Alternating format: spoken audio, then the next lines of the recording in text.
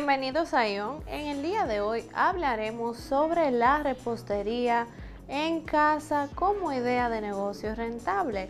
La repostería es un negocio muy prometedor especialmente porque puede iniciarse desde el hogar y así ganar dinero extra mientras te preparas para más adelante abrir tu propio local y dedicarte a tiempo completo a esta pasión. Así que si tienes en tus manos el arte de la repostería, sacarle provecho a esto y a tus tiempos libres puede dar inicio de un propio negocio de repostería en casa. Una de las primeras cosas en las que se debe pensar en qué producto especializarse y es que la ventaja de la repostería es que se puede ofrecer una gran variedad de postres pero también especializarse en un tipo particular y convertirlo en la marca personal del negocio. Esta es sin duda una muy buena idea, pero para ello tendrás primero que investigar y conocer las preferencias de tus posibles clientes, ya que no se trata de dejar de lado aquello que a ti te gusta y hacer que ofrezcas lo que ya todos los otros negocios hacen, pero sí es necesario que sepas qué tipo de cosas están buscando las personas y así podrás encontrar el punto medio entre lo que tú quieres ofrecer y lo que los demás están buscando. Un punto muy importante que no se debe pasar por alto es el tema de los costos, ya que para que el negocio de la repostería deje ganancias, hay que asegurarse de que los precios cubran los costos en los que incurrirás, puesto que si no, terminarás ofreciendo deliciosos productos a precios muy bajos. Pero esto no te dejará muy buenas ganancias. En el tema de los postres, el sabor no lo es todo. Para lograr que tus clientes queden enganchados con tus productos, enamóralos desde el primer vistazo. Asegúrate que tus dulces siempre tengan una presentación impecable que sea capaz de transmitir el sabor y la dulzura. Además, un producto que se ve bien conlleva de por sí un valor agregado que incrementa su precio a la hora de vender. Recuerda que primero tienes que promocionar tu producto y así que comienza siempre por tu círculo de conocidos. Haz que ellos prueben tu producto y que sean los primeros en darlo a conocer. Así que a continuación te presentamos 5 consejos para poner un negocio de repostería desde casa. La repostería en casa como una idea de negocio rentable. 5 consejos para poner un negocio de repostería desde casa.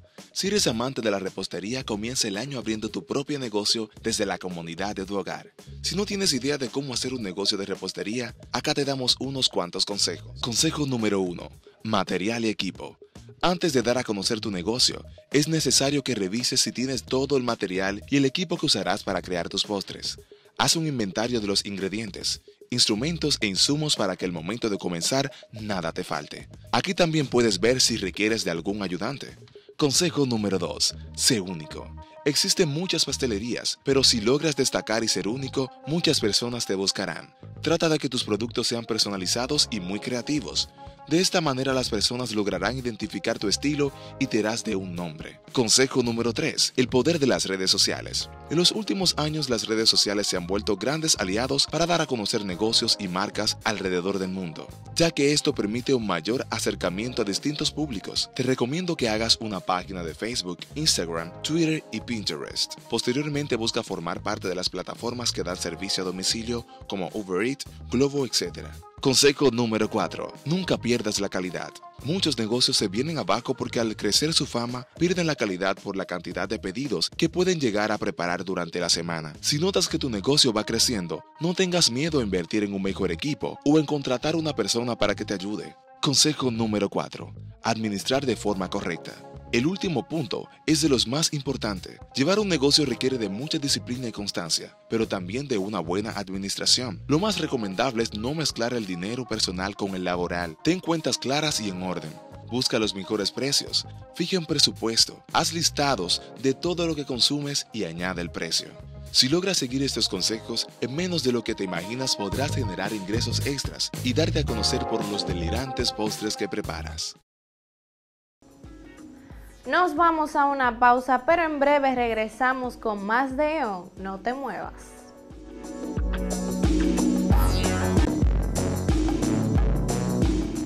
Qué bueno que continúan aquí con nosotros en ION y debido al tema del día de hoy contamos con la presencia de una invitada muy especial. Ella es Rafelina Rijo de Café del Parque. Rafelina, bienvenida a ION. Gracias por la oportunidad. Gracias a ti por aceptar la invitación. ¿Cómo te encuentras en el día de hoy? Muy bien ha sido un día muy bueno, una semana muy buena. Ah, genial. Rafelina, siempre se quiere pasar de inmediato a lo que es el negocio, pero yo siempre me enfoco en conocer primero a quién está detrás. Cuéntame de ti, de tu preparación académica y laboral. Bueno, eh, yo estudié educación. Ok. Eh, mención inicial. Wow. Eh, fui maestra eh, del nivel inicial por muchos años, muchos años.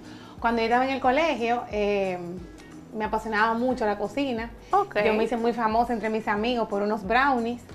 Y imagínate tú, cuando yo decirle a mi papá, yo quiero estudiar cocina o algo que tenga que ver con cocina, eso era como, como ¿qué? O sea, imaginaba, a tener una fonda o algo así.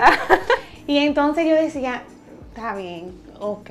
Nada, pero me, apasionaba mucho la educación. O sea, si no, si no me permitían una cosa, iba por otra. Okay. Pero eso era antes, ya no. Ya no, ya no. El tiempo, el, esto ha cambiado mucho. Y, y, es bien que sea así, que cada quien elija lo que realmente eh, pueda hacer. Le apasiona. Le apasiona y para lo que se da bueno, porque no todo el mundo da bueno en muchas cosas. Bueno. Eh, cuando termino la carrera de educación, hice un diplomado en artes culinarias. Entonces ya me fui, me fui familiarizando por, sí. más. Todo el mundo me decía, tú no haces una maestría en educación y yo todavía. Yo tenía que hacer ese diplomado. Claro. Y entonces seguía trabajando en un colegio. Eh, llegó un momento que yo tenía como ese anhelo tan grande que yo, yo quiero poner un café. Yo, yo, yo tengo que hacerlo. Y entonces eh, mi esposo, que se toma mis proyectos como de él, me dijo... como debe ser. Sí, no, me dijo, yo me acuerdo ese día, vamos a hacerlo. Entonces, no era que él iba a dejar su trabajo por hacer el mío, pero él me empujó de, una forma que me dijo, me dio esa seguridad, porque uno siempre le da miedo, tú sabes, claro, comenzar. El impulso siempre hace falta. Sí, entonces yo dije, sí. Y entonces ahí formalmente en el 2012, entonces comencé a trabajar la parte de cocina. Seguía trabajando en el área de educación. Eh, a raíz de mi segundo hijo, tomamos la decisión que no, iba a estar empleada por, tú sabes, el tiempo y eso, y entonces le di más calor a Café del Parque y entonces ahí arrancamos. ¿Y cómo nace? Porque me llamó mucho la atención este nombre. Tú sabes que siempre que vemos este pastelería, siempre pastelería tal, repostería tal, tal bakery y me quedé como que Café del Parque, qué lindo suena. ¿Por qué este nombre? Te cuento, no fui yo que lo puse. Oh.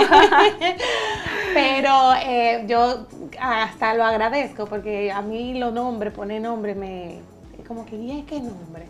Bueno, eh, en el momento que tomamos la decisión de que queríamos poner un café o un coffee shop o como tú quieras llamarlo, sí. Eh, unas amigas de, mis, de mi mamá y de mi tía, que son gemelas, es como decir, mis madres, eh, tenían Café del Parque.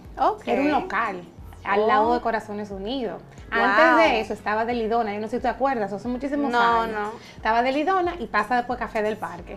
Entonces, eh, ellas iban a cerrar el, el, negocio porque por tema de trabajo su esposo ya estaban viviendo en el interior y entonces un día yo fui a ver unos equipos, ellos se escucharon, entonces nos dijeron, pero mira, nosotros estamos pensando esto. Eh, y nosotros compramos Café del Parque. Ok. Entonces ya tenía el nombre. Es, estaba frente a un, a un parque es un parque bellísimo, el que está frente a Corazón Unido, sí, con las Yo vivo por ahí, justamente. Y entonces, eh, así fue que obtuvimos el nombre. Ok. Pero anterior a eso, yo pensaba 1500 nombres. Wow. Y yo decía, Dios ¿qué yo le voy a poner? ¿Y cómo se va a llamar? Y no sé qué. Pero gracias a Dios, eh, tuve ese problema ya resuelto. Resuelto. Pero yo tengo entendido que es home-based eh, tu negocio. ¿Cómo se da entonces esta transición? ¿Compraron el café? ¿Estuviste ahí un tiempo o inmediatamente lo trasladaste a tu casa y después evolucionaron? ¿Cómo fue? Mira, em, yo trabajaba desde mi casa, todos mis bizcochos yo lo hacía desde mi casa, yo tenía muchos pedidos de, de bizcochos que yo hacía, eh, o que actualmente sigo, sigo haciendo. Entonces, em, nada, yo entro al local, entonces, luego de un tiempo, nosotros decidimos eh, que no íbamos a continuar con el local, pero que sí íbamos a seguir trabajando desde, desde, mi casa, que yo lo hacía. Exacto. Eh, siempre yo tuve en claro que yo no quería perder la esencia de tú hacerlo desde casa, porque cuando tú haces una producción masiva no es lo Se mismo. pierde Sí. La esencia. Ajá, y entonces cuando tú tienes, cuando ya tienes mucho trabajo, que tienes que contratar a una persona, tú dices, conchole, no, no soy yo que lo estoy haciendo, al final es- sí, sí soy yo, pero otra Se persona. parece, pero no es igual. Exacto, entonces yo sí me he asegurado de, de continuar mi producción, de hacer mi producción, entonces ahí eh, sigo, sigo trabajando desde, desde la cocina de mi casa. Nosotros habilitamos un espacio eh, que era mi cocinita, pero una- en, el, en tu apartamento. sí, en mi apartamento. Entonces ahora se trasladaron hacia otro. Ah, entonces, eh, nada, yo tenía un espacio súper pequeñito Sí. y ahí producía todo. Tuve una oportunidad grandísima de, de una compañía que me llamó para solicitarme un sabor de temporada que iban a tener. Y ese fue mi primer trabajo grande, masivo. Ok. Eso fue todo, eso fue ya tú sabes, yo pasé de cosas varios a muchos. Ajá. Y entonces mi apartamento, me, obviamente, me quedó muy pequeño. Sí, Y exacto. yo decía, ay, Dios mío, ¿qué yo voy a hacer ahora? Pero tú sabes que siempre te hace ese miedito, como buscar un lugar, eso, Sí. ese gasto. Las o complicaciones. Ya si es verdad, como que tengo que tener todo siempre. Y entonces, pero eso es parte de crecer. Claro. Y entonces ahí eh, conseguimos un local eh, y yo mudé la cocina. Ok. Háblame entonces, ya sabemos del local. En cuanto a personal, eh, ¿con cuántas personas tú cuentas ahora mismo? ¿Cómo, ¿Cuánto? Vamos a decir que como cuánto ha variado la, la idea original de lo que era Café del Parque a lo que es ahora. ¿Cómo ha sido ese crecimiento?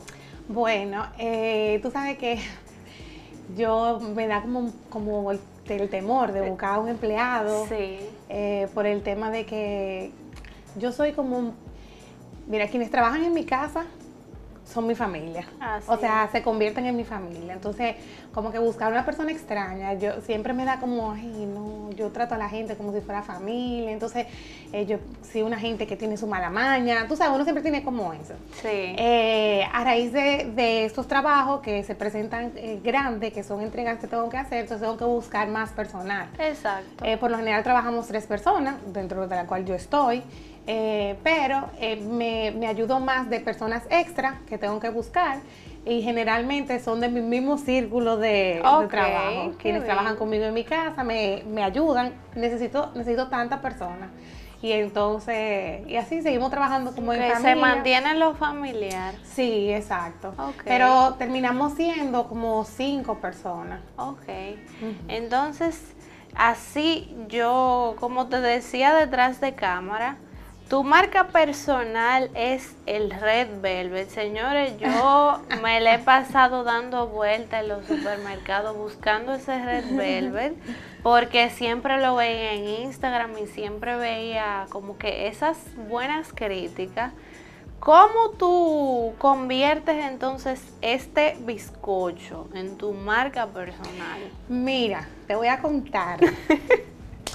Sucede que yo no tenía ni idea de lo que era un Red Velvet. Yo nunca lo había probado. Wow. Siempre decía, es un bizcocho como muy gringo, tú sabes. Eso tiene que ser algo como, como que tú lo ves en Estados Unidos, pero nunca lo había probado. Uno está acostumbrado a vainilla y chocolate. Sí, exacto. y tal vez, y cambiar el relleno. Entonces, un día se me entró, ay, voy a probar una receta. Cuando yo ando buscando recetas, yo veo muchas recetas, estudio las recetas, veo que esta tiene, esta tiene tanto de esto, tanto de lo otro, este tiene más azúcar, este tiene más, más mantequilla. Y entonces como me puse a ver varias recetas cuadré con una, dije yo voy a hacer esta, que es la que como de los ingredientes y la cantidad, fue como la que más me cuadró. A toda esta yo no solo con Red Velvet, yo lo voy a hacer entendiendo el sabor que yo quiero lograr. Y entonces, em, nada, cogí un chin de esto y un chin del otro y hice mi receta. Hago el bizcocho. Nosotros íbamos a salir para el interior ese día. Y yo iba a dejar el bizcocho. Y dije, encontré el bizcocho. Cuando mi esposo lo prueba, que no come dulce, no le gustan los dulces, y él mucho menos los bizcochos, eh, él lo prueba y dice, pero esto sí está bueno, ¿y qué es esto? y yo dije, déjame probarlo. Pues yo no lo probar. wow. Entonces cuando lo pruebo, digo, wow, pero qué, qué bueno este bizcocho. Y entonces, después de ahí, yo dije, no, es que si a él le gustó, esto le va a gustar a todo el mundo, porque él no tiene nada que ver con eso, con los dulces ni nada. Y entonces luego de ahí lo prueba mi hermana, luego otras amigas, entonces empieza que yo no me lo esperaba, honestamente no me lo esperaba. Entonces continúa haciendo continúa haciendo el red velvet, la gente empieza, yo quiero probarlo. Y mira, fulanita me dijo que esto es un red velvet buenísimo, entonces ahí empecé a hacerlo. El boca a boca. Del boca a boca y ahí entonces ya. Wow. la gente, eh, como que no, Café del Parque, eso Red Velvet. Sí, inmediatamente se asocia. Y entonces después busqué una receta de unos brownies de Red Velvet. No sé ni cómo, de verdad, caí como unos brownies de Red Velvet. Y me encantaron. A mí me encantaron, pero yo dije, bueno, yo no soy parámetro porque a mí me encanta comer dulce. Otra vez tenía una crisis en mi casa. ¿Pero qué es esto? Después las galletitas. Yo hacemos una galletita de Red Velvet. Entonces ahí ya yo como que me quedé pisada en el Red Velvet porque todos me pedían Red Velvet. Sí, exactamente. Pero, tienes más eh, variedades de sí, bizcocho. Sí, mucho más. El, por ejemplo, el Milky, lo que era el Red, el Milky Way era lo que era el Red Velvet. ok, antes. Sí, como ¿Qué bizcocho? Todavía, todavía sigue siendo uno de los favoritos, tú sabes, y a mí me encanta también, es uno de mis bizcochos favoritos.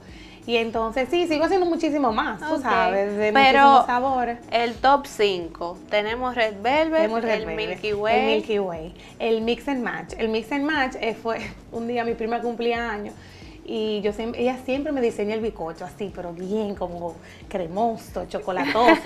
y yo ese día, yo decía, Dios mío, a mí no me da tiempo hacer un bicocho, ¿qué yo voy a hacer? Nada, vi en la nevera, yo tenía una masa de red velvet, y dejamos unos brownies, porque a ella le gustan los brownies, le gusta el red velvet. Entonces hice unos brownies y lo mezclé con el red velvet, o sea, capa con capa. Y entonces con una crema de chocolate, que es lo que lleva el, el Milky Way. Entonces, eso fue como. ¡Qué bomba! Fue un escándalo. Entonces está el Milky Way, el Red Velvet, el Mix and Match, que, es como la mezcla de estos dos. Ok. Eh, tengo el bizcocho de coco, eh, uno de pistacho y amaretto. Wow. Y así. ¿Y cuáles más o menos son los costos de tu producto? Por ejemplo, el Red Velvet creo que tiene varias presentaciones. Sí, varias presentaciones, eso depende. Eh, pero va desde 850 a 2500. Ok. Y también depende de los cupcakes, si lo quieren en cuadritos. Okay. La galletica, por ejemplo, que estabas hablando, Red Velvet. Sí, la galletica yo la hago de diferentes tamaños. O sea que todo, todo y todo depende del tamaño. Exacto. Ok, ¿qué? Bueno, sabemos que ya cocinas tus dulces, tus postres desde te mudaste de espacio, pero cuéntame entonces, ya que te has dado tan buena con el Red Velvet, ¿qué otros planes a futuro tiene Café del Parque? Tú en sí quisieras como tener tu propio local e incluir de hecho el café o más o menos por dónde quisieras sí, no, Yo no cierro como esa posibilidad de tener un local que las personas entren y salgan. Eh, me encanta la idea. Realmente yo no le estoy dando mucho calor. Yo tengo dos hijos pequeños. Eh, yo me dedico mucho a mis hijos, siempre estoy con ellos, entonces yo no le quiero quitar ese tiempo a ellos. Exactamente. Porque un negocio demanda, demanda mucho. O sea, un negocio se convierte en tu hijo, después se convierte en tu pareja, después se convierte en todo. Entonces, yo estoy en un momento que mis hijos es lo más importante. Entonces, pero sí, no descarto eh, poder tener la tienda, que las personas entren y salgan, eh, seguir colocándome en, otros establecimientos eh, y sí, seguir creciendo. Ok, mientras tanto, en lo que eso sucede, ya que estamos terminando la entrevista, ¿dónde podemos adquirir estos Red Velvets tan deliciosos y tan conocidos? Bueno, lo pueden encargar eh, con el teléfono que tenemos en Instagram. Pero para encontrarlo así, pueden ir a los supermercados Bravo. Ok, específicamente a cuáles? Bueno, antes estábamos en cuatro y ahora estamos como en once. Estamos en Santiago Baní, que eso eh, en el interior. Eh, estamos en La Núñez, Bravo Núñez, Enriquillo, Esterilla, Churchill, Próceres, Prolongación 27, San Isidro, San Vicente, Las Américas. Wow, pero Casi qué bien. ¿Y las redes sociales? Café del Parque RD. Café del Parque RD. decir que arroba Café del Parque RD. Ay, ay, ay. Señores, ya saben, si quieren probar estos Red Velves de Rafaelina, ya saben a dónde ir o a quién contactar a través de las redes sociales. Rafaelina, encantada de tenerte en este Ay, fue un placer. de nosotros realmente. Fue un placer cuando quieran. Ay, muchísimas gracias. Espero que nada que si no yo, yo voy a probar ese red velvet claro. ya que no pude completar del todo mi tarea. Claro. Rafelina muchísimas gracias. Un placer. Esta fue nuestra entrevista del día de hoy. Esperamos que haya sido de su agrado y continuamos con más de ON. No se muevan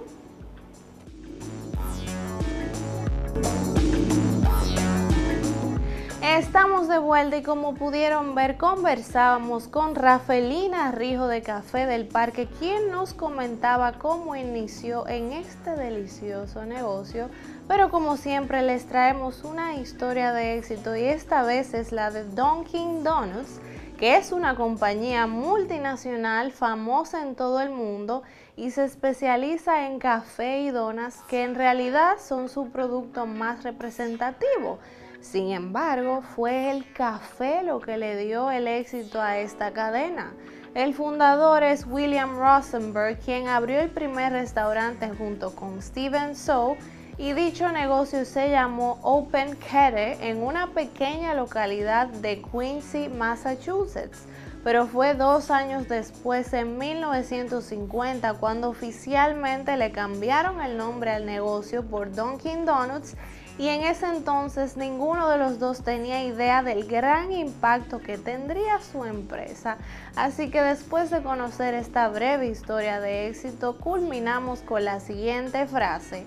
Si solo trabajas por dinero, nunca lo conseguirás. Pero si amas lo que haces y siempre pones primero al cliente, el éxito será tuyo. Por Ray Kroc. Esto fue todo en el día de hoy aquí en Enion y con ustedes estuvo Yudel Caserra. Nos vemos hasta la próxima.